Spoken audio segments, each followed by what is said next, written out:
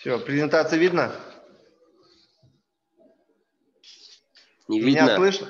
Меня слышно? Все, Слышно, слышно. все, все, спасибо. Отключать микрофон, давайте начнем.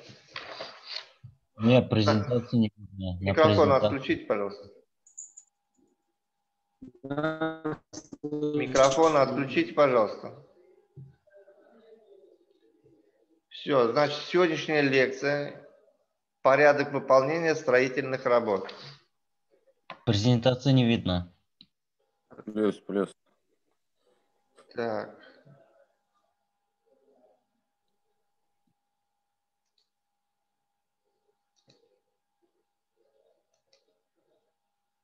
Появилось? Да, появилось.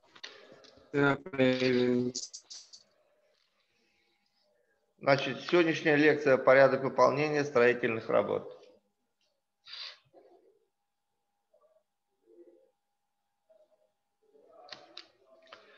Строительные работы выполняют специализированные колонны, в составе которых имеется, как правило, две комплексные бригады для производства работ с пути и одна с поля.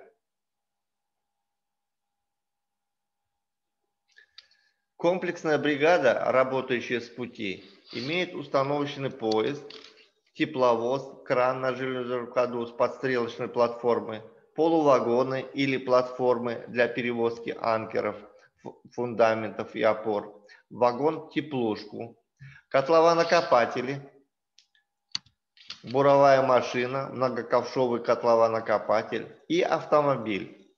При необходимости бригаде придается вибропогружатель АВСЭМ и устройство для забивки свай.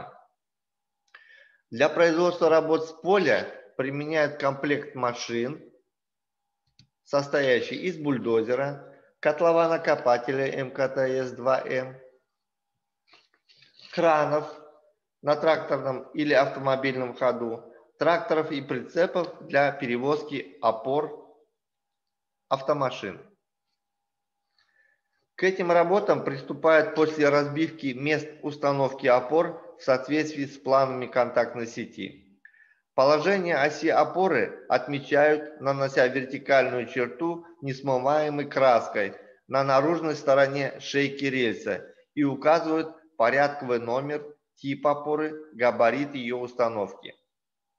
Разработку котлованов производят механизированным способом, используя буровые машины МКТС-2М, а в отдельных случаях экскаваторы Э-221 и другие машины. В стесненных условиях, например, вблизи трубопроводов, кабельных линий и тому подобное, котлованы роют вручную.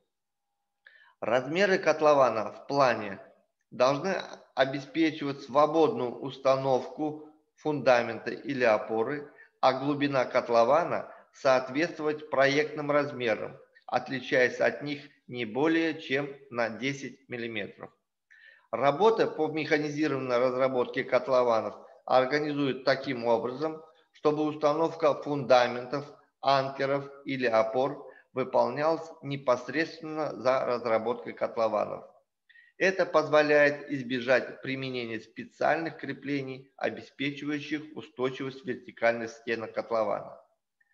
Когда ведется разработка котлована, не разрешается находиться у работающего бура на расстоянии менее 4 метров, а при работе котлована-копателя ВК-3 на расстоянии менее 15 метров от рабочего органа. Не допускается перемещать машину МКТС-2М в рабочем положении, а также приближаться к работающей машине на расстояние менее 10 метров. В местах сильного притока грунтовых вод перед разработкой котлованов необходимо выполнять мероприятия по водоотливу, водопонижению или применять шпунтовое ограждение.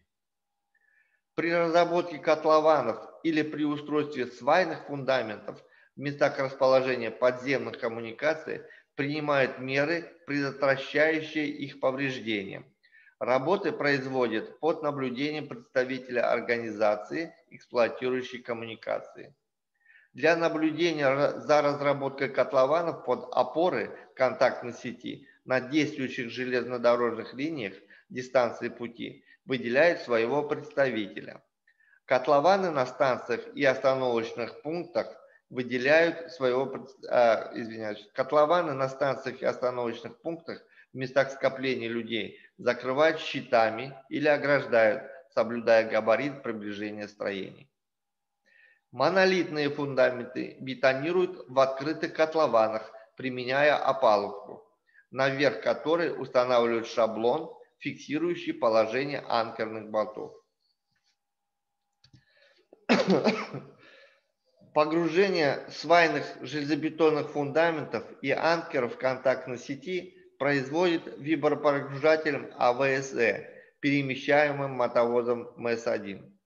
В процессе погружения свайного фундамента запрещается постоянный обмен условными сигналами между машинистами вибро- вибропогружателя и мотовоза и руководителем работ.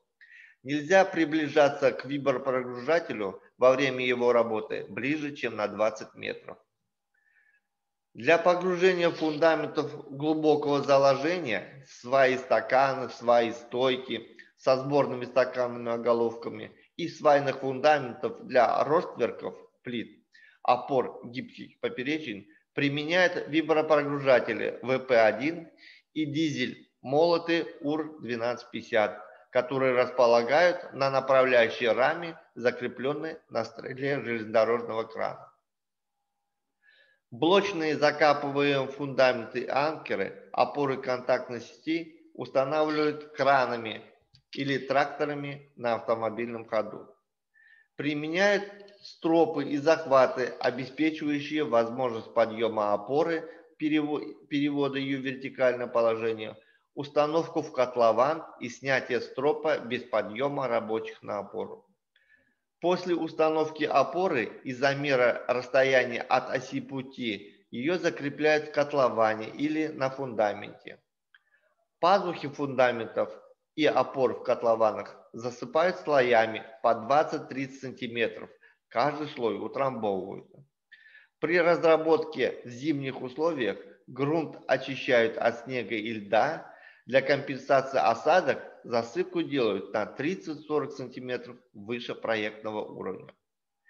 Регулировку опор целесообразно выполнять с помощью крана при их установке.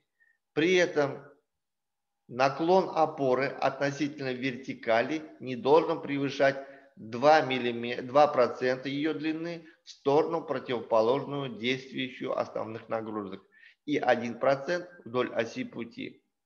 Для анкерных опор наклон вдоль оси пути не должен превышать 0,5% в сторону противоположную действию основных нагрузок.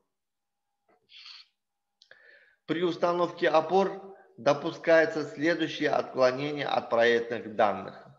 По длине заделки в грунт плюс-минус 100 мм, по длине пролета плюс 1 и минус 2 мм, по расстоянию от оси пути 150 мм, отклонение опор по отношению к направлению перпендикулярному оси в плане, в том числе закладных детелей железобетонных опор, плюс-минус 3%.